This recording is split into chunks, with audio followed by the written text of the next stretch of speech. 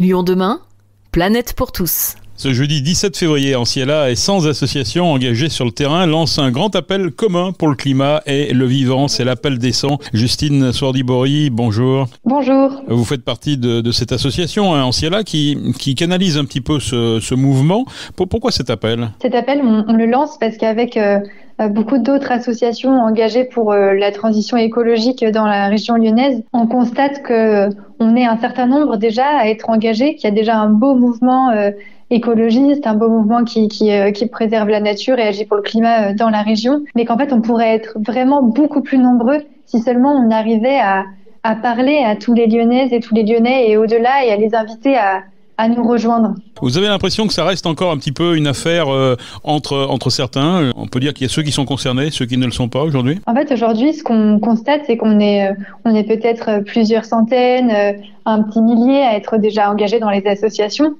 Euh, mais ce qu'on voit, c'est qu'il y a, vraiment énormément de personnes qui, euh, qui ne sont pas forcément engagées dans les associations déjà, mais qui ont envie d'agir. Euh, quand on a organisé des marches pour le climat précédemment, on a vu qu'il y avait jusqu'à 30 000 personnes dans la rue. Et ces personnes-là, si elles sont dans la rue pour le climat, c'est qu'elles ont envie de faire quelque chose. Et nous, on veut vraiment euh, les aider à trouver comment elles peuvent être utiles pour la transition, comment elles peuvent être euh, utiles pour euh, créer un, une société qui soit à l'image de leurs valeurs, qui soit plus écologique, plus solidaire, plus, plus conviviale. Et en fait, on sait que dans une métropole d'un million d'habitants, il faut vraiment qu'on soit des dizaines de milliers à, à nous engager. Et c'est possible puisque ces milliers de personnes qui ont envie d'agir, elles existent. Alors pour agir, il faut quoi? Il faut agir individuellement ou il faut agir collectivement, justement à travers ces, ces associations? Il y en a une centaine, hein. on peut dire quand même que c'est quand même un nombre important. Je suis pas sûr qu'il y avait autant il y a quelques années avant qu'il y ait cette sensibilisation aux défis climatiques. Il y a plusieurs manières d'agir. On peut agir chez soi, on peut agir avec ses amis, avec ses voisins, avec ses collègues, on peut agir dans des associations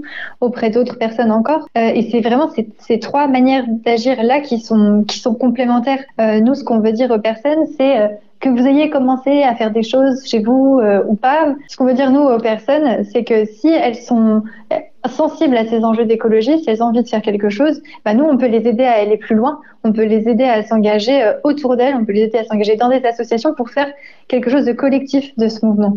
Donc vous lancez euh, cet appel, c'est bien, mais au-delà de cet acte fondateur, au-delà de cette conférence de lancement qui a lieu jeudi soir, que va-t-il se passer après? Aujourd'hui, jeudi, on, on, lance cet appel. On publie donc euh, ce soir notre euh, vidéo où, euh, où plusieurs associations qui sont avec nous dans, dans cette aventure vont, vont lire l'appel et, et, partager ce qui, ce qui leur tient à cœur pour donner envie de, de les rejoindre. Et ensuite, on va inviter tout le monde à, à d'ailleurs dès aujourd'hui répondre à l'appel sur notre site agiralion.fr.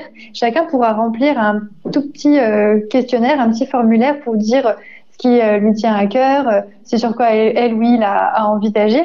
Et nous, en Ciela, on les aidera à trouver un engagement aux côtés des associations. Donc euh, pendant tout le, tout le mois à venir, tout le monde pourra remplir ce petit formulaire et nous, on va mener plein d'actions pour faire connaître cet appel auprès du plus grand nombre. Alors justement, quels sont ces, ces 100 acteurs? On en a parlé euh, tout à l'heure, il y a 100, 100, associations engagées. Elles agissent dans, dans quel domaine? Est-ce qu'on peut avoir quelques, quelques exemples? Alors parmi ces 100 associations qui lancent euh, l'appel, on a, plusieurs associations qui sont déjà un peu connues peut-être des, auditeurs qui agissent sur différents enjeux d'écologie dans la région, comme Alternative à Rhône sur le climat, Arthropologia sur euh, la protection de la biodiversité, On the Green Road sur le voyage, ou la maison du vélo, ou la ville à vélo sur, euh, sur euh, le, la question de, du vélo, justement. et il y a aussi des associations qui agissent plutôt sur les enjeux de solidarité habituellement, comme les Petits Frères des Pauvres ou l'entraide protestante, et qui ont aussi envie de dire que les enjeux écologiques vont toucher tout le monde, en fait, et, et que justement, elles peuvent aussi, elles, porter un engagement écologique parce que euh, ça les préoccupe de savoir euh, comment le dérèglement climatique, par exemple, va avoir un impact sur, euh, sur leurs bénéficiaires aussi. Il y a aussi des associations qui viennent de tous les coins de, du Rhône et même un petit peu de, du sud de, de l'Ain